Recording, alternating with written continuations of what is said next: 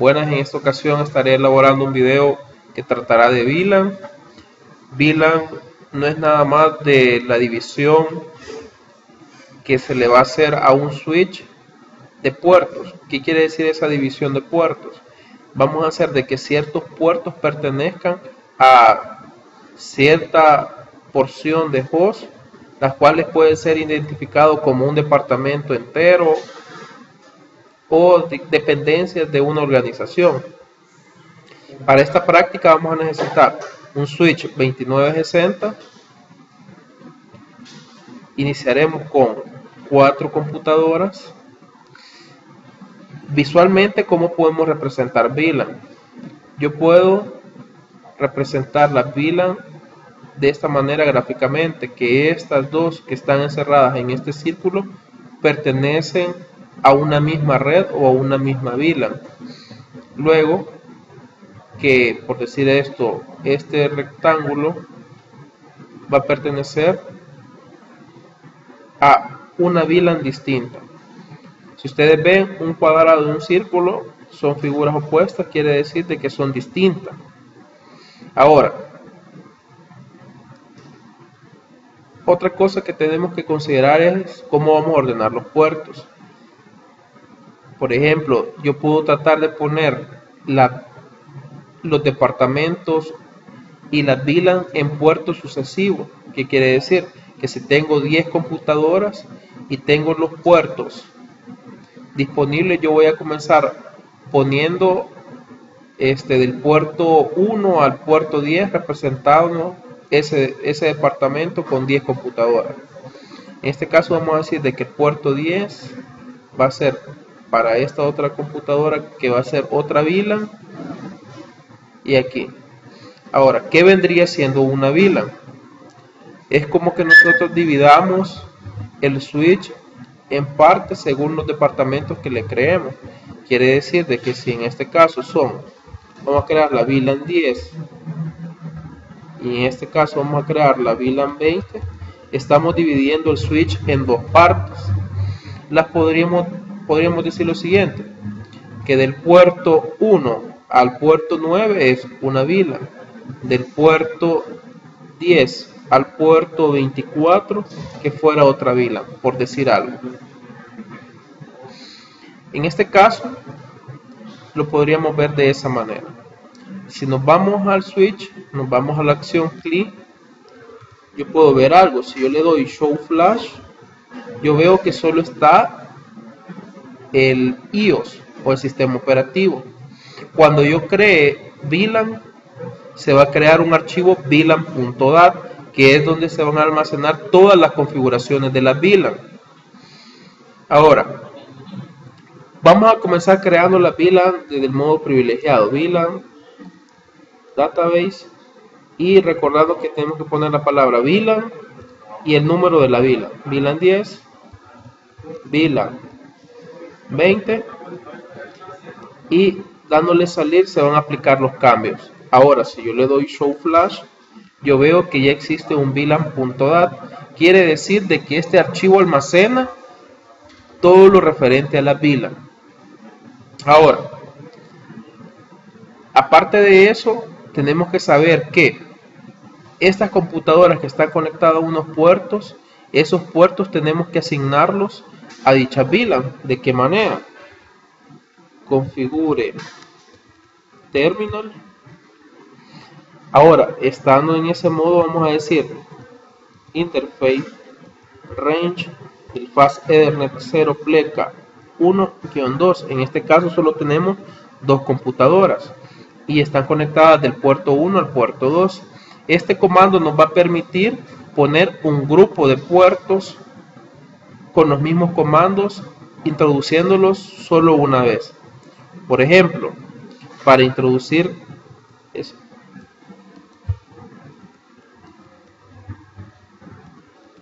VLAN 10. Por ejemplo, este comando estaría afectando a los dos puertos porque yo estoy dentro de estos rangos de puertos, o sea, del puerto 1 al puerto 2 ya se los voy a mostrar a continuación. Le vamos a dar salir y vamos a decir de nuevo.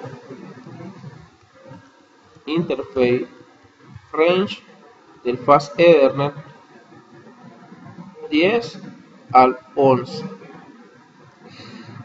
ahora ¿qué vamos a decir? por access VLAN 20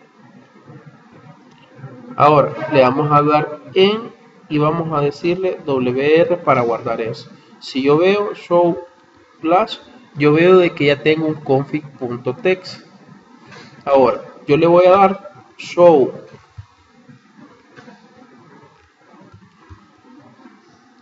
show running config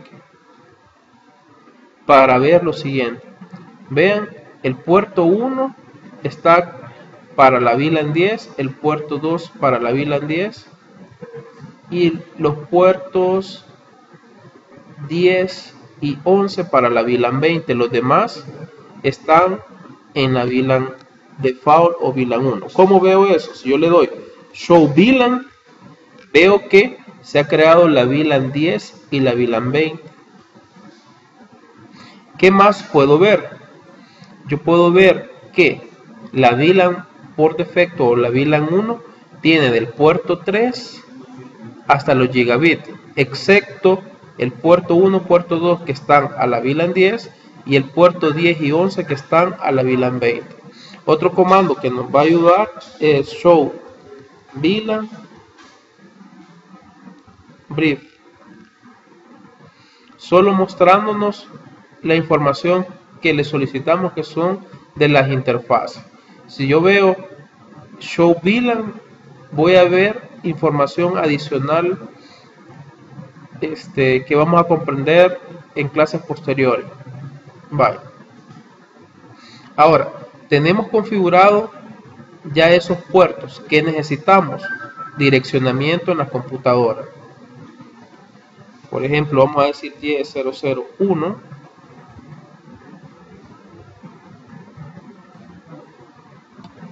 10.002 vamos a decir en esta 20001 esta. Luego vamos a poner esta la 20002 y vamos a hacer lo siguiente. Pruebas.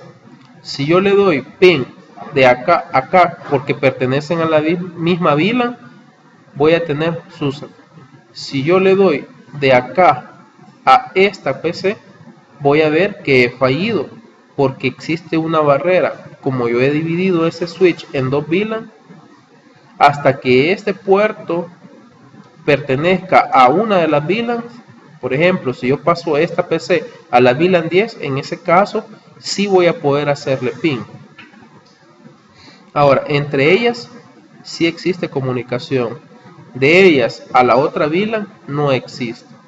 Vamos a poner dos computadoras más. Y vamos a decir de que van a estar conectadas del puerto 3 al puerto 12. Y le vamos a poner sus respectivas direcciones IP.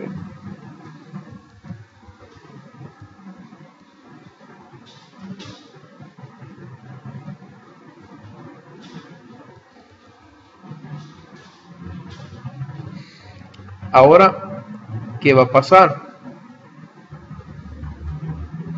Si yo vengo y trato de dar pin a la VLAN 10, aunque poseo una dirección IP que está bajo el rango de estas computadoras, no puedo llegar porque este puerto no pertenece a esa VLAN.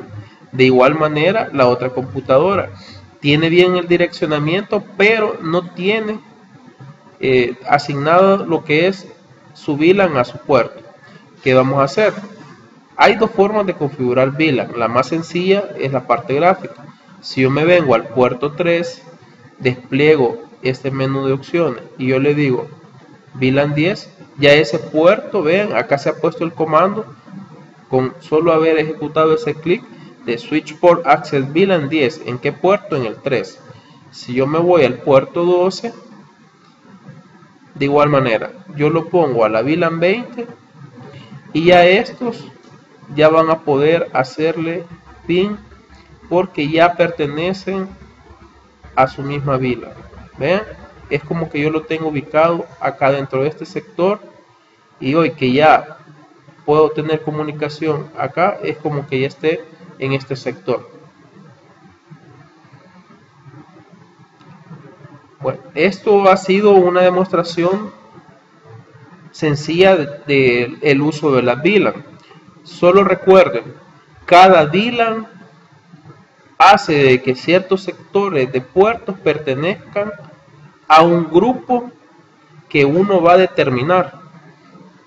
Por decir algo, del puerto 1 al 9 hemos determinado que sea para la VLAN 10, del puerto 10 al 24 para la 20.